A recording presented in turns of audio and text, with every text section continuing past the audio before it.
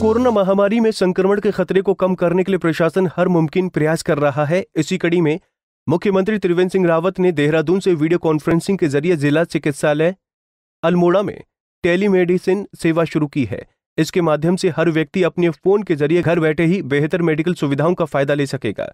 वहीं जिला अधिकारी नितिन सिंह भदौरिया ने कहा कि टेलीमेडिसिन के अंतर्गत एनआईसी द्वारा उपलब्ध कराए गए टेलीमेडिसिन सॉफ्टवेयर को अस्पतालों में जल्द ही इस्तेमाल में लाया जाएगा। उन्होंने कहा कि हर बीमार व्यक्ति मोबाइल से डॉक्टर की सलाह ले सकता है। आ, मैं आपको अवगत कराना चाहूँगा कि आज माननीय मुख्यमंत्री जी द्वारा टेलीमेडिसिन सर्विस का उद्घाटन किया गया।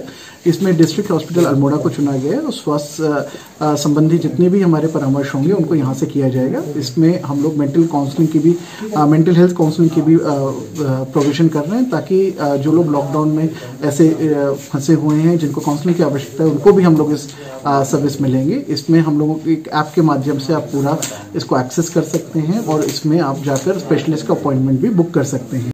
महामारी के बढ़ते संक्रमण को कम करने के लिए टेलीमेडिसिन सेवा एक सराहनीय कदम साबित हुई है। इस वजह से अस्पतालों में लोगों की भीड़ तो कम होगी ही, पर साथ ही साथ मरीजों को बेहतर इलाज भी मिल सकेगा। पंजाब केसरी टीवी के लिए अल्मोड़ा से निर्मल की रिपोर्ट।